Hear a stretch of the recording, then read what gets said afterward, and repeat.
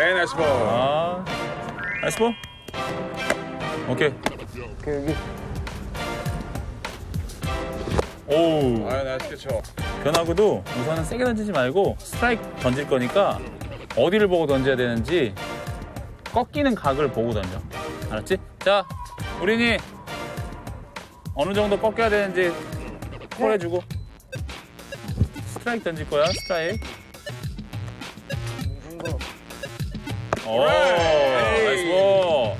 방금 같이 하나 더. 아, nice ball. 지금 강희가 왜 좋냐면은 이게 일정해. 앞발이. 일정하니까 자기 포인트를 찾아가기가 쉬운 거지. 벌어지거나 이러지가 않고 일정해.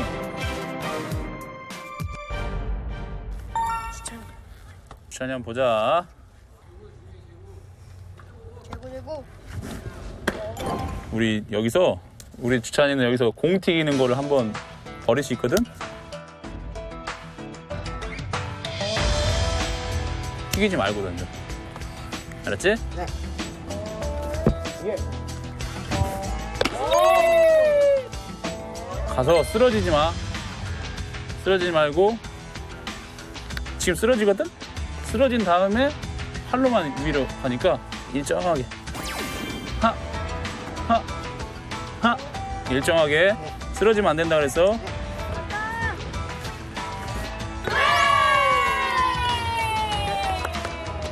오케이. 동현이하고 그리고 예승이 그리고 강희 이 세 친구가 비포하고 애퍼, 애프터가 조금은 현저하게 좀 잘 보이는 이 친구들이 어느 정도 할 수 있겠구나라는 좀 생각이 들었었고